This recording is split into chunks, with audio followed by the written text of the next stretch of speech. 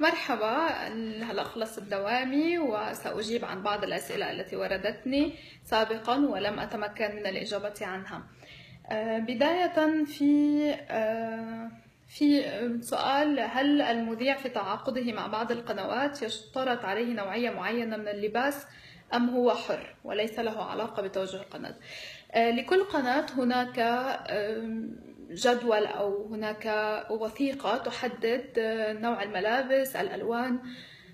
هناك بعض القنوات تمنع بعض الألوان في برامج معينة أو بشكل عام على الشاشة وذلك لأنها تتعارض مع الخلفية. مثلا في فرانس 24 كان يسمح بلبس الكم القصير في الجزيرة كما في البي بي سي يعتمد معايير الإتيكيت الدبلوماسية والتي هي أنه لا يجب أن يظهر الكوع ولا الركبة.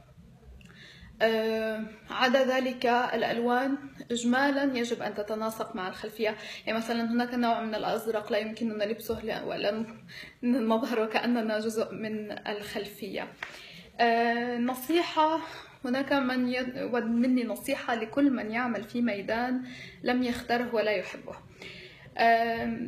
أول نصيحة هي أن تحاول دائما أن تجد ما تحبه وما يستهويك. ولكن هذا أعرف أنه أمر صعب بالنسبة لكثيرين فبالنهاية الوظائف حاليا في عالمنا باتت محدودة وهناك خوف من البطالة. ولذلك في حال كنت لا تحب مجالك ولا تحب مهنتك حاول ربما أن تخلق ضمن مهنتك ما, ما يستهويك أو ابحث أو طور هوايات خارج المهنة تحفزك والدوام يعني يبقى الدوام والتفاني فيه هو نوع من المسؤوليات والواجبات. ليه لما تخلصي القراءة من الأوتوكيو يتوجه نظرك لتحت هو في شاشة ثانية بتظهر عليها. ولما بيجي خبر عاجل سوف أجمع بعض الأسئلة مع بعض. لما بيجي خبر عاجل وين بيقرأ الخبر؟ لأن بحس ما بينظر على الشاشة اللي قدامه. آه، في الواقع آه، تحت الكاميرا لدينا شاشة يمكننا أن نشاهد عليها ما يظهر على الشاشة. عندما ننتهي من قراءة الخبر بعضنا يبقى مركزا مع الكاميرا والبعض الآخر يفضل أن يتابع انطلاق التقرير مع المشاهدين. هذا خيار شخصي في طريقة التقديم.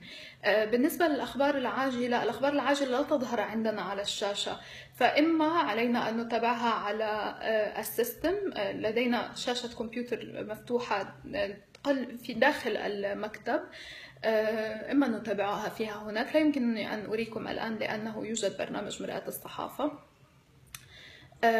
ولكن آه، يمكننا أن نتابع إما نقرأه من آه، إذا كان الخبر العاجل أو تفاصيله من الشريط لأن لدينا أصلا أيضا شاشة تلفزة تظهر ما يظهر على الشاشة.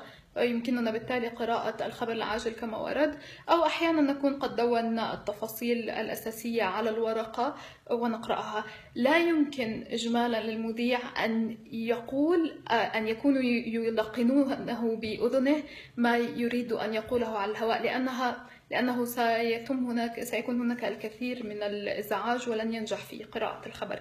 لذلك عليه أن يكون قد دون التفاصيل إما على الورقة أو يقرأها عن الشاشة. عندما تكونين في تغطية مباشرة وتتوالى صور أشلاء أطفال وجثثهم الممزقة تحت الأنقاض آه، هل يمكن لك أن ترتجلي في التعبير عن قسوة الصور أم أنك تلتزمين بما يملى عليك من الزملاء في غرفة الأخبار؟ وهل يمكن أن تعلقي على الصور بعصبية وسخط بعيدا عن الحياد الإعلامي؟ وتصبي جم غضبك كإنسانة هنا وليس كإعلامية على الجهة التي قصفت هؤلاء الأطفال. اولا كما ذكرت قبل قليل لا يمكن أن يملوا علينا اجمالا آه، ممكن أن يلقنونا مثلا تفصيل بسيط آه، وإلا نفقد التركيز في في الارتجال. آه، لذلك كل ما يمكنهم فعل يعني لا يوجد تلقين نحن لسنا آلات. نحن صحفيون يعطونا التفاصيل الأساسية. مثلا ممكن أن يقول لي هذا القصف في دوما بينما أنا أعلق على الصور ولكن الباقي الارتجال يكون من المذيع. والمعلومات الخلفية تكون من المذيع آه، إلا في حال نسي شيئا ولكن التلقين يعني فعليا يكون بكلمات بسيطة بمختصر مفيد وإلا يفقد التركيز. آه، طبعا لا يمكنني أن أعبر عن غضبي ولا يمكنني أن أقول آه، مثلا يا الله ما هذا؟ ما هذه؟ ممكن أن أقول صور قاسية ممكن أن أقول ضربة جديدة للنظام مثلا ولكن ولكن لا يمكن لا يمكنك أن تتخلى عن مسؤوليتك الإعلامية خصوصا أن ما لديك من معلومات حينها ستكون قليلة آه، بقدر ما تكون الصور موجعة. آه، يجب عليك أن على الأقل في الكلمات التي تختارها أن تكون حياديا قد لا تنجح فعليا في صوتك وفي تعابيرك أن أن لا تظهر تأثرك ولكن في الكلمات يجب البقاء على الحفاظ على الحيادية هل أنت مرتاحة في قناة الجزيرة جدا؟ هل لديك مشاريع في التغيير؟ كلا آه، مدى التنسيق بين الجزيرة عربي وإنجليزي إعلاميا وإداريا وهل هما في نفس المبنى؟ آه، نحن لسنا في نفس المبنى نحن آه، لدينا كل منا مبنى ولكننا فقط نقطع الطريق الداخلي بيننا. هل هناك تنسيق؟ هناك تنسيق. نحن لا نشارك في لا نتشارك في الاجتماعات التحريرية. ولكن هناك تنسيق خاصة عندما يكون لديهم مقابلات عندما يذهب أحد مراسلينا إلى أماكن هم لا يصلونها أو عندما يكون لديهم مراسل في أماكن نحن لا نصلها. نتبادل الصور نتبادل المعلومات وقد نتبادل آه، التقارير تقارير المراسلين كاملة. وإذا كان هناك مقابلة مهمة لديهم أو لدينا أحيانا يكون لديهم مقابلات مع رؤساء من أفريقيا أكثر من الجزيرة العربية لأنها تكون باللغة الإنجليزية نترجم منها بعض بعض الأصوات وبعض المقاطع آه، كيف ترجحين شخصيا السبب لخلل فني أو إرهاب للطائرة المنكوبة؟ صراحة أنا لا أحب الترجيحات ولا أحب التأويلات طالما في هكذا أمور خصوصا. يعني ممكن تقول لي سيناريو سياسي لأن ذلك يعتمد على قراءة تحليلية. أما في خبر كهذا فعليا لا يوجد معلومات وأعتقد أنه كل ما نقوله الآن سيكون في إطار السيناريوهات وفقط تعبئة كلام ولذلك لن أدخل في ذلك. إذا كان عملا إرهابيا فهو يدل على خرق أمني شديد آه، آه، سواء من جانب المطار الفرنسي آه، أو أعتذر ولكن وصلني سؤال مضحك. هل هذا شعري الأساسي أم باروكة هو شعري. انظروا شعري. إذا بالنسبة للطائرة المنكوبة إذا كان إذا كان عملا إرهابيا فهو مشكلة أمنية خطيرة بالنسبة. خصوصا للطيران الفرنسي لأن الطائرة انطلقت من عندهم أما إذا كان خلل تقني فهو مصيبة أكبر ربما قد تكون أكبر لأنك يمكنك أن تشدد إجراءات الأمن ولكن أحيانا الخلل الفني آه، يرعب أكثر أنا شخصيا كراك آه، إذا إذا صعدت على طائرة سأكون آه، خائفة أكثر من الخلل الفني من كم من العمليات الإرهابية. هل هناك تعارض بين رأي المذيع الشخصي وبين توجه ومحتوى القناة التي يعمل بها أم لا بد أن يكونوا على توافق؟ أه، لا أعتقد أنه إجباري أن يكونوا على توافق مئة بالمئة أه، يمكن طبعا أن يكون هناك اختلافات وهناك الكثير من الاختلافات ووجهات النظر أه، في كل الأماكن التي عملت بها وبالعكس هذه الاختلافات تثري الشاشة لأنها تعزز الحوار والنقاش وتظهر آه، رأي آخر.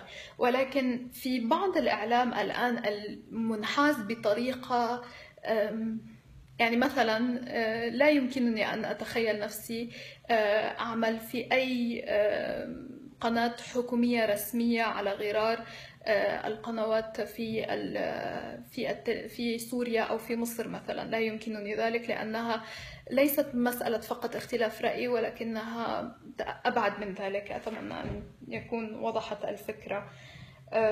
لو أردت أن أعمل كإعداد برامج وكتابة مقالات فقط ماذا علي أن أدرس؟ وفي أي كلية تنصحينني أن أدخل مستقبلا؟ خصوصا أنني أريد الدخول في قناة الجزيرة. إذا كان الهدف هو إعداد برامج فأنصح بكليات الإعلام وبمجال الأوديو فيجوال أو المرئي المسموع لأنها ستعلمك تقنية تصوير وتقنية صنع البرامج وإعداد البرامج. أما الكتابة فهي موهبة أولا. يمكن لكلية الإعلام أن تعلمك أسس كتابة الخبر ولكن الأسلوب يجب الكتابة يوميا. حتى لو كنت لم تنشري تنشر مقالاتك حتى الآن آه، تعودي أن تكتبي وأن تقارني مع مثلا مقالات بنفس نفس الخبر. كيف كتبت مقالات أعجبتك؟ آه، كي تحسني أسلوبك وكي وكي تتعودي على الكتابة. إذا كان هناك خبرا يتعلق بدولة مقدم النشرة بدولة مقدم النشرة وشعر بالحرج من قراءته هل له أن يعتذر عن تقديم النشرة وهل يكون مذيع رئيسي لتقديم النشرة وآخر احتياطي تحسبا لحدوث طارئ؟ لا قدر الله. بارك الله فيك. أه لا أعرف لا أعرف صراحة إذا كان يوجد أي مذيع أه يشعر بالحرج من قراءة خبر عن دولته أه خصوصا أن لا أعرف. أنا يعني من لبنان ولا أشعر بأي حرج حول أي خبر يأتي. ولا أدري ولن تصادفني هذه الحالة أبدا. ربما إذا جاء خبر يزعج أو لا تراه مصيبا يحق للمذيع أن أن يناقش معد النشر فيه و... وإذا اقتنع معه ممكن أن يزيله. ولكنه لا يتعلق بدولة الشخص. وإذا كنت لا تجرؤ على قراءة أخبار تتعلق بدولتك فأعتقد أنك في المهنة الخطأ. هل يكون هناك مذيع رئيسي آخر لتقديم نشرة؟ كلا. ولكن إجمالا يكون هناك آه، في الدوامات شخص آه، دوامه اسمه standby أو الاحتياطي وفي حالة الطوارئ يتم الاتصال به وعليه أن يكون جاهزا لي... لي... لي... ليأتي بسرعة إلى الدوام ما هي زيارة العمل المقبلة بعد أفريقيا الوسطى؟ لا حاليا أنا حامل ولا مخططات لزيارة عمل لكن الأسبوع المقبل سأكون في لبنان وسأحاول في إجازة وسأحاول خلال إجازتي أن أعد تقارير عن مدينة طرابلس أعرضها عليكم عند عودتي إن شاء الله هل هناك تعارض بين رأي المذيع الشخصي وبين توجه ومحتوى القناة؟ التعارض الاختلاف في الرأي طالما طالما أن القناة مهنية وتنقل الخبر آه، بمهنية. لو كان آه، مثلا دعنا نقول المذيع يدعم الحزب الفلاني والقناة تدعم آه، أو توجهها مع الحزب الآخر. لو كان هناك اختلاف في الدعم ولكن طالما أن التعابير تلتزم بالمهنية لا أعتقد أنه يوجد أي تأثير لا من طرف المذيع حين يسأل الأسئلة ولا من طرف ال ال القناة. هذه صبرين تخرج من مرآة الصحافة. أهلا مرحبا. ولذلك لا أرى أن هناك أي مشكل في الاختلاف بالتوجهات بالعكس كما قلت سابقا هي تثري. أريد أن أكون صحفيا في الجزيرة ما هي المواصفات التي يجب أن تتوفر في؟ للعمل في أي قناة آه، إعلامية يجب أن يكون لديك الحس الصحفي. الحس الصحفي هو أن تعرف أين هو الخبر. آه، ابحث مثلا هل الخبر هو وقوع الحادثة في هذا الشارع في هذا البلد؟ أم وقوع الحادثة بعينها أم عدد المصابين أو عدم الإصابة. كل هذه العوامل تختلف بين بين حادثة وأخرى. ولذلك كلما تمرنت على أن تدرك آه، وأن تعرف أين هو الخبر آه، كلما سهل لك العمل في أي وسيلة إعلامية. آه، الحشرية. لأنها إذا كنت لا ترغب في سؤال أي سؤال آه، في طرح أي سؤال لن يمكنك فعليا أن تكون صحفيا.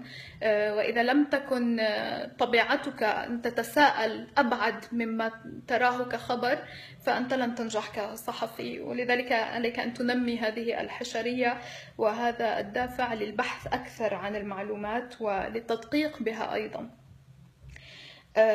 نحن دائما نطالع الكثير. هل هل لدى المذيع في قناة الجزيرة الحق في إبداء رأيها أو اختيار الأنباء التي سيتطرق لها خلال النشرة؟ مسؤولية اختيار الأنباء التي ستطرح في النشرة هي أولا على عاتق معد النشرة. آه، عفوا انقطع الاتصال. معد النشرة هو اسمه بروديوسر أو منتج آه، هو الذي يختار يحق للمذيع إبداء رأيه في هذه الأخبار. في آه، زوايا تناولها. وممكن له أن يطرح أن يلفت النظر إلى موضوع يهمه قد يكون أو آه، هو لفت نظره ولم ينتبه له المنتج. فبالنهاية نحن بشر ونحن لسنا يعني لا المنتجون يتصرفون معنا بديكتاتورية. لأن نقول لا نحن نتصرف بتعالي ونفرض أخبار أخبارنا. هي عملية فريق آه، ممكن للصحفي العادي أن يلفت نظر المنتج لخبر ما. الجميع يمكنه أن يبدي رأيه في في ضرورة تناول خبر أو معالجة زاوية معينة ولا يوجد أي أي مانع. آه، الأسئلة الشخصية. أين تعرفت على زوجي؟ وهل عندي أخوة عندي أخت أصغر مني بخمس سنوات وأخ أصغر مني بعشر سنوات وأختي الأصغر مني متزوجة ولديها ثلاثة أطفال. زوجي تعرفت عليه في آه، عن طريق أخي آه، أخ زوجي كان أستاذي في الجامعة وهو عرفنا على بعض. ما هو فريق الرياضي المفضل؟ صراحة أنا أقول أنني برشلونية ولكن للصراحة أنا لا أتابع كثيرا كرة القدم. آه، في بكأس العالم مرة كنت مع هولندا ومرة كنت مع البرازيل والعام الماضي الدورة الماضية كنت مع ألمانيا. كل سنة أحدد ذلك حسب لعب الفريق. ولكن أحب كرة القدم وأحب متابعة التنس أيضا. آه، كيف تقيمين الشباب العربي؟ الشباب العربي يائس آه، وله الحق في هذا اليأس. ولكن هذا اليأس هو الذي سيدفعه للتغيير. آه، وهو شباب طموح بشكل عام ولديه الكثير من المبادرات ولديه الكثير من الحماسة للتغيير وكثير منهم كثير منهم يعملون فعليا على تحسين وتطوير المجتمعات والمضي قدما نحو ما يحفظ كرامة الجميع سواء كانوا ما أيا كانت توجهاتهم كانوا محافظين أو كانوا ليبراليين كما يصفهم البعض آه، هم جميعا يعملون على تطوير المجتمع وتأمين الحقوق أولا لجميع المواطنين. بعدها الاختلافات في التوجهات الفكرية ليست مهمة طالما آه، الحقوق الأساسية هي موجودة. أه بعتذر على صوتي. عم بيروح شوي. أه هل تعملين لأجل كسب المال؟ أم لحبك لهذه المهنة؟ أم أنك تحبين الشهرة؟ أولا لا أعرف ما الذي يمكن أن يحب في الشهرة صراحة يعني ولا مرة. أه فهمت ذلك. بالعكس أنا أخجل خجولة بطبعي ولذلك تخجلني الكثير من التعليقات والكثير من المبادرات. لا لا أنجح فعليا الآن أن أتابع التعليقات التي تريدونها الآن ولذلك طلبت الأسئلة أمس ولكن سأفتح البث المباشر مرة أخرى لأجيب عن أسئلة أخرى. وبالتالي هل أنا اللي بهذه المهنة لكسب المال؟ آه، هناك مهن أخرى تكسب المال أكثر من هذه مثلا مستشارة إعلامية أو أو في مؤسسات آه، فيسبوك مثلا. لو كنت اعمل في فيسبوك كنت كسبت أكثر أعتقد حسب جدول رواتبهم. ولكن أنا هنا لأنني أحب هذه المهنة لأنني أحب أنها تعلمني كل يوم شيء جديد. أنا فعليا هناك سؤال آخر أتى في هذا السياق هو هل كان حلمي منذ كنت صغيرة أن أكون مذيعة؟ لم يكن حلمي أن أكون مذيعة ولكن كنت أحلم أنني أريد أن أجد طريقة تمكنني أن أتعلم كل يوم حتى نهاية حياتي. لأنني كنت دائما حشرية وأريد أن أعرف وأشعر كلما تعلمت شيئا هناك ما يزال الكثير الذي أريد أن أتعلمه. آه، ولذلك كانت الصحافة أفضل مهنة وأفضل خيار لأنها مهنة تعلمنا كل يوم شيء جديد كل يوم تفتح لي آفاق جديدة مثلا اليوم تعلمت عن أن هناك حركة شباب مدني في ليبيا تسعى آه، لعمل مناظرات. عندما تعلمنا عن أوكرانيا وكل مشاكل أوكرانيا فجأة بسبب آه، ثورة أوكرانيا آه، هذا هذا ما يجعلني أحب هذه المهنة وسأبقى فيها طالما قدرت. ما مدى حرية الصحفي في قناة الجزيرة؟ هي حرية واسعة. أنا شخصيا من جهتي لم تواجهني أي أي تقييدات آه، من ناحية عندما ذهبت لأفريقيا الوسطى لم يكن هناك أي تدخل أو منع لأي من تقاريري أو أو تعديل لكلامي أو لطريقة تغطيتي هل هناك فرق بين الإعلام والثقافة؟ لأنه يوجد وزير للإعلام وآخر للثقافة. طبعا هناك فرق، الإعلام يخبرك الخبر، الثقافة هي الفن، الآثار، آه، النشاطات الثقافية هي نشاطات تفتح الأفق، الإعلام هو إعلام بالنهاية. آه، وزير الإعلام يعنى بشؤون لأن الإعلام هو حق للمواطن. أن يكون له آه، سهولة الوصول على إلى المعلومة هي حق للمواطن. ولكن الثقافة هي أيضا لتطوير الشعوب. الثقافة تج... أشمل من الإعلام والإعلام يمكن أن يكون ثقافيا ولكنه ليس أساس الثقافة. لو عرض عليك منصب سياسي في لبنان ووجدت أن هذا المنصب يخدم أهل بلدك فهل تتحررين من الصحافة؟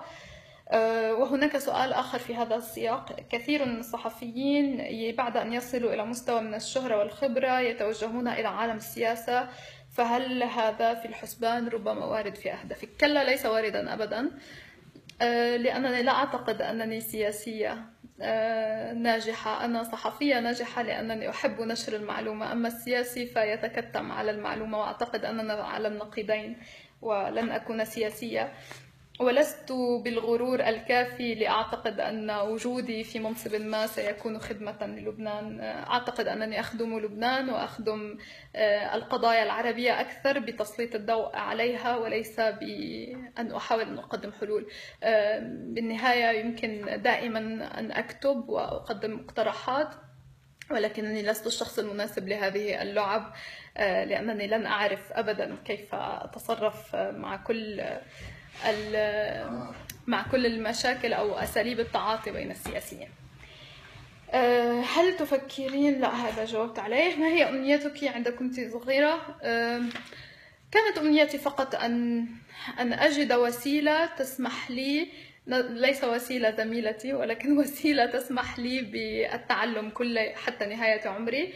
والحمد لله وجدت الصحافة. هل هناك إعلام عربي صادق ولماذا يميل العرب لتصديق الإعلام الغربي؟ أعتقد أننا نميل إلى تصديق الإعلام الغربي لأن أولا سياسيون سياسيين أصدق مع الإعلام الغربي مما هم مع الإعلام العربي أه، تجدهم يخافون أكثر أه، ولأنهم يحاولون أيضا أن لأنهم يخافون من الغرب ربما هم أصدق مع الإعلام الغربي. ولكن المشكلة ليست في صدق الإعلام العربي. هناك أنا أجد الكثير من المصداقية لدى الإعلام العربي. ولكن مشكلة الإعلام العربي هي أنه مهاجم من كل الأنظمة. آه، ولذلك آه، يشعر المواطن أنه أنا مع هذا الهجوم أنه أحيانا يشكك في المصداقية. ولكن أعتقد أن هذه هي هي ما يشكك في مصداقية الإعلام العربي بشكل عام، وهناك طبعا التجاوزات من بعض الإعلاميين التي شوهت المهنة ولكنها موجودة في الغرب أيضا. الفرق أن لدينا السياسي عندما يتحدث مع صحيفة نيويورك تايمز يصرح ويسرب معلومات فعلية وجدية أما حين يتحدث مع الصحافة العربية فهو يتعالى عليها ولا يقدم أجوبة آه، فقط يدخل في اللغة الخشبية آه، هل المذيع يواجه صعوبات في النشر؟ طبعا هناك صعوبة ضغط ضغط التعامل مع مع أي مشاكل تقنية قد تطرأ الفكرة أنك يجب أن تسيطر على تعابيرك يجب أن تسيطر على هدوءك يأتي خبر عاجل وليس هناك الكثير من المعلومات ويتوجب علينا أن نستقي المعلومات لحظة بلحظة من مكاننا في الاستوديو وأن نحاول آه، أن نضع المشاهد في الصورة في الوقت الذي نحن نكتشف فيه الصورة معه. آه، المشكلة الصعوبة الأكبر التي تواجه المذيع باللغة العربية تحديدا هي التكلم بالفصحى فالفصحى ليست لغتنا الأم آه، اللغة العامية لكل لكل بلد ولكل مذيع حسب بلده هي لغته الأم. آه، وهذا ما نختلف فيه عن المذيعين باللغات الإنجليزية والفرنسية هم يتحدثون بلغتهم اليومية. أما نحن اللغة الفصحى يجب أن نكون متمكنين منها ويجب أن نكون نتقنها وهي أقرب كيف إذا أردنا أن نشبهها للغرب الغرب. هي كما لو طلبنا من فرنسي أن يقدم نشرة باللغة اللاتينية القديمة. فهذه فهذه واحدة من الصعوبات التي نواجهها. ما هي القناة الإخبارية التي تشاهدها بعد الجزيرة؟ الجزيرة الإنجليزية و و بي بي سي سي ان ان يورو نسيت اسمها. نسيت اسم القناة هي أوروبية. ولكنني أتابع الراديو كثيرا. أتابع الراديو الفرنسي وأتابع راديو مونte كارلو الدولية. ما هي مميزات الجزيرة عن باقي الفضائيات؟ سأعتبر أن السؤال عن باقي الفضائيات العربية أعتقد أننا نتميز بشبكة مراسلينا الواسعة الموجودة عبر العالم آه، وأنه لدينا الإمكانية بأن نفتح تغطية من تقريبا أي مكان آه، في العالم آه، يكون موقع ساخن وأن لدينا دعم للتغطية الميدانية المباشرة وهذا ما يميزنا تجد دائما عندما يكون هناك خبرا إخباريا مهما تجد الناس تنتقل إلى الجزيرة لأنها لديها هذه الإمكانيات. انتهت جولة الأسئلة شكرا لكم والمرة المقبلة أحاول أن أجيب عن أسئلة جديدة. يورو نيوز صح. شكرا. إلى اللقاء.